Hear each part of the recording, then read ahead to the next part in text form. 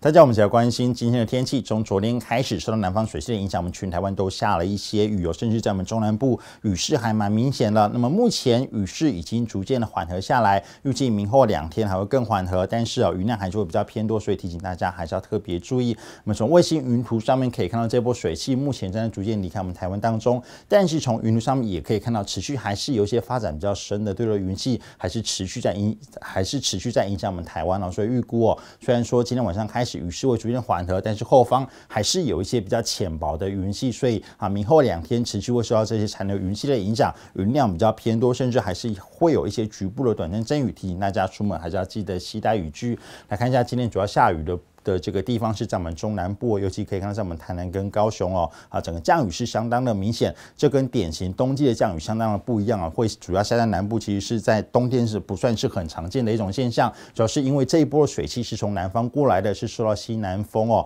把南方的水汽给带上来，所以主要下雨的地方啊，主要的迎风面是在我们的中南部跟东南部这附近，所以也跟之前啊几波锋面南下的情况是相当的不一样。那么预计明后两天我们台湾是持续受到这波这个水汽的残留云系的影响。啊，所以啊，雨势虽然会觉得缓和，但是云量也还是比较偏多，全台湾都还是会有局部的短暂阵雨发生的可能性。那么预计在礼拜三的这个下半天开始，可以看到还会再有一波锋面云系南下。不过预计下一波即将到了来的这一波锋面云系，跟目前影响我们台湾的这一波是比较不一样的。现在影响我们台湾的这一波，主要是西南风带上来的，比较像是有这个夏天的天气系统啊。那么在在礼拜三即将南下的这一波呢，是从北方南下的，就是典型的冬季的这个。啊，天气系统，所以啊，预估整个主要下雨的部分也不太一样啊。目前呢，这一波呢，主要是这么中南部的一方面，那么在礼拜三开始哦。北方的这个锋面云系南下之后，主要下雨的地方又会集中在我们的迎风面的北部、跟东北部、跟东半部。那么在礼拜三锋面云系很快通过之后，礼拜四东北季风又会有比较明显增强。要特别注意的是，温度又开始往下降了。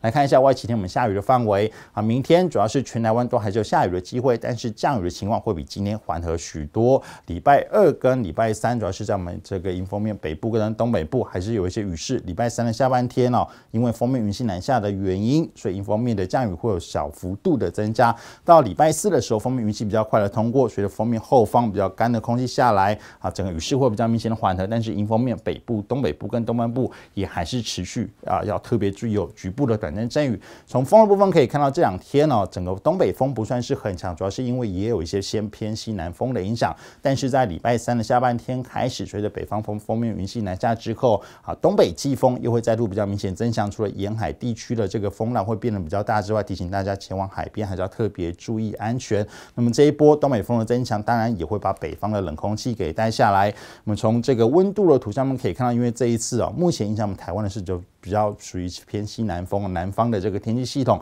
所以可以看到温度并没有很明显的往下降，十度的等温线都还在中国的长江流域附近啊。那么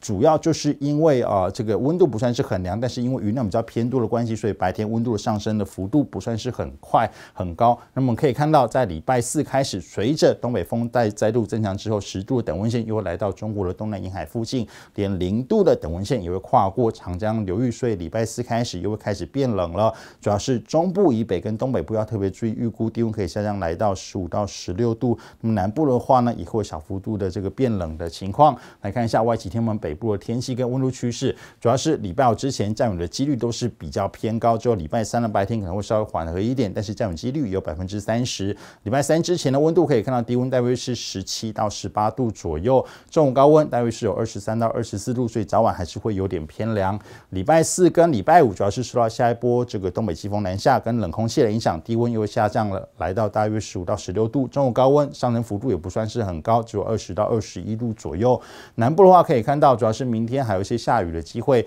啊，降雨几率有高达百分之八十。礼拜二跟礼拜三雨量稍微偏多，降雨几率仍有三成左右。礼拜四跟礼拜五就会放晴了。低温的话啊，温这个变化幅度不是不算是很高，大约是十八到二十度。中午高温大约是二十五到二十六度，所以要提醒大家，这个礼拜天气是属于比较湿凉、湿冷一点。那么明后天水汽持续是比较偏多，明天全台湾仍然都会有短暂的阵雨，而且这个礼拜是比较湿凉，甚至是有点湿冷，尤其是从礼拜四开始提醒大家期待雨具。那么这个礼拜四开始，东北风也会增强，也会开始降温了。以上就是今天的天气。